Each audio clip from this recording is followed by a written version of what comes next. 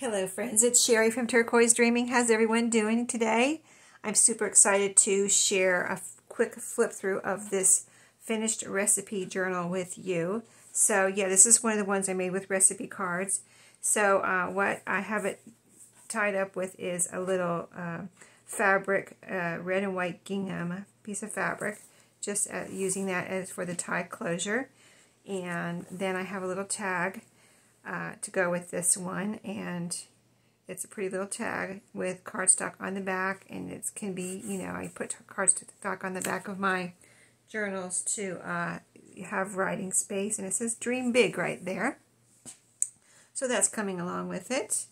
And then, so the covers on this one were the divider pages in a recipe collection, recipe, you know, card collection. And this is the cookies for all occasions. And so since there were the dividers, they were blank on the back. And here's the breads and muffins, little divider card. Uh, you can see I have some patchwork fabric here on the spine that's sewn around. And I bound it with some red and white uh, baker's twine and added a little cluster here that has a button on it. So, and then since the inside of the covers were, were blank, I added some pretty scrapbook paper on the outside. I mean on the inside, and then also I sewed around the outside of the the cover too, just here and here and here, uh, just for uh, really a sturdiness and effect of you know sealing the the scrapbook paper together and everything. So then I added some belly bands here and on the back cover too because I didn't want to cover up this paper. It has pretty teapots and flowers on the bottom here. So I just, instead of a pocket, I added a belly band, and there's a couple pieces of ephemera here which have been coffee dyed.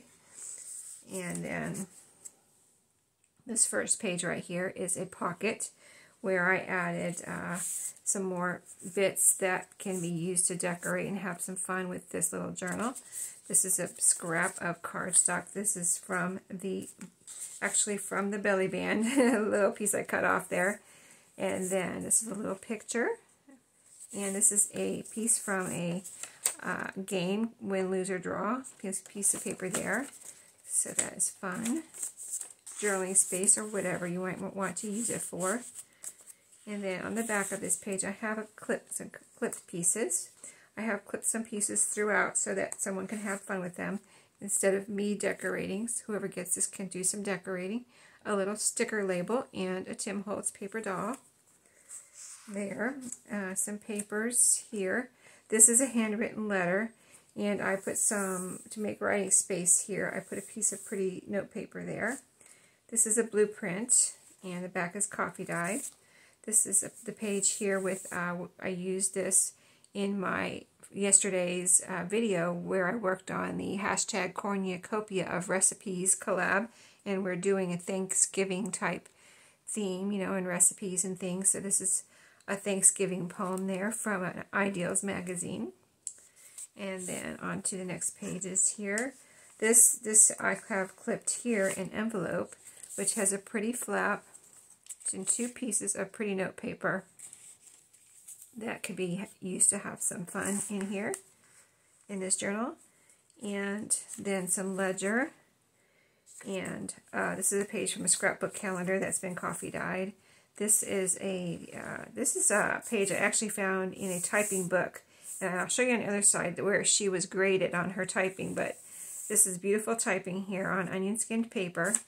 And then here's a pretty piece of paper that has been coffee dyed with this pretty flower on it. This is a page from a calendar. It even has, uh, somebody wrote on this calendar, all right, here on this date, somebody's birthday. So, but this was from a stack. All these papers or from a stack of paper where I, you know, reorganized the papers in my closet. And I have those letter trays, if you saw my reorganization videos. And I took all the papers out of one tray and I said, let me use up some of these papers, you know what I mean? And so, um, and I also did that because I wanted it to be kind of uh, leaning toward a true junk journal looking uh, book so that someone could, if you wanted to use this as a starter junk journal gift for someone, this would be a good way to introduce them to a junk journal without overwhelming them. So here's the other side of that letter, and she got an A on her typing test here. it's a very pretty letter, and uh, she got an A on it. everything's spelled right and just typed just right. so um, here I have clipped some game score sheets. So this is from a game here. And then this is a bridge score sheet. So, you know, those are blank on the back and they are old. You can kind of see the coloring is starting to change where maybe it was a little lighter and starting to get a little darker. But this is to, if it's a beginner person, you know, is to give them an idea of what kind of things you can have fun writing on. You don't have to just write on, you know, paper with lines. You can write on all kinds of things and just, you know, or glue things and glue those down and just, you know, try to get their imagination going on something like this where they learn to uh, write and decorate and things like that. So uh, this is a part of the handwritten letter where the other side I put some stationery and this side you can read or you can cover it up if you want. And then here I have clipped a guest check and a uh, card catalog card, you know, from a library. That's an original, you know, or, you know, old uh, library card there. Or ca card catalog card. And let's see, did I, yeah, is that right? Yeah, I did that right. Okay, and here's the last page with a the uh, with the pocket. And in here I have a little bingo. This is one that I printed out a long time ago on coffee dyed, a little bingo piece of paper, and like a bingo card. And then this right here is an actual, in, well, 1928 pieces of, piece of ephemera. Important admission card for uh, this girl, Gladys. Uh, let's see, I'm trying to think. Here's the date, and it says junior stenographer right there.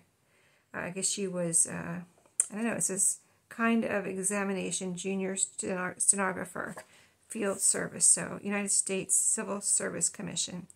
Not sure. Office of the Secretary, Washington, D.C. So very interesting piece of ephemera there. And I have that in the pocket and this in the pocket. And then here in this belly band, just the two more pieces. This is an old envelope and this one says field record on it. Two little pieces of ephemera that I had printed and coffee dyed a long time ago. And now I'm trying to use up some of these pieces. But uh, yeah, that's the little journal. And I think there's about 40 surfaces in here. So you could even use this for a December daily, a little quick little December daily, inexpensive. And uh, there you go, or a little gift or whatever, something, a little journal for yourself to tuck in during uh, the holidays and keep your notes and and uh, different things that maybe you want to keep that you run across, right? I mean, I have a couple things to put in my Mimi's journal in my new uh, personal journal right now. So kind of anxious to do that. And it's kind of fun to collect a few things. And then once in a while you catch up and just have a little fun uh, decorating and putting those things into your journal that you want to keep. And then so along with this will come a, little envelope of, uh, I have 10 pieces of, of uh, goodies in here that can be used and have some fun with a little flower cluster a little writing space made from scrapbook paper, a little piece of um, cardstock that can be made into a tag, a piece of Monopoly money, flashcard, some tickets, a uh, Rolodex card that I made myself, and those do fit, my Rolodex cards, the little punch outs here do fit the standard Rolodex, uh, you know, flipper thing that you might have. There's so many different ones. And then this is a coffee dyed receipt, and this is a recipe card. And so, yeah, all those things can be made into tags or journal spaces or whatever you would like. But uh, I'm going to make, I was making another one of these. I'm going to finish that one, and so it will be very similar. But when you see this video, this little journal will be in my shop. So, uh, if you, uh, like, I don't know, I, you know, I can't predict if this will sell right away or not, but for instance, if I just if you uh, wanted more than one of these, and maybe you're getting this one, and you say, "Oh, I'd like to have three of those," or something like that. Um, just send me a message in my Etsy and say, oh, "I'm I'm getting this one, but I need two more," and I'll make more. I just, uh, you know, made one for right now, and then I'm gonna go continue on. So, yeah, just let me know if you need more than one, and uh, I'll make as many as you want. I have tons of these cards, so if I had to stop everything else and make just these, I would not be opposed to that. These are fun little quick things, and I can, um, once you tell me you want some or whatever, even just one more, I can put them together pretty quickly. So uh, thank you for watching today. I hope you enjoyed, and I'll see you in my next video. Have a great day.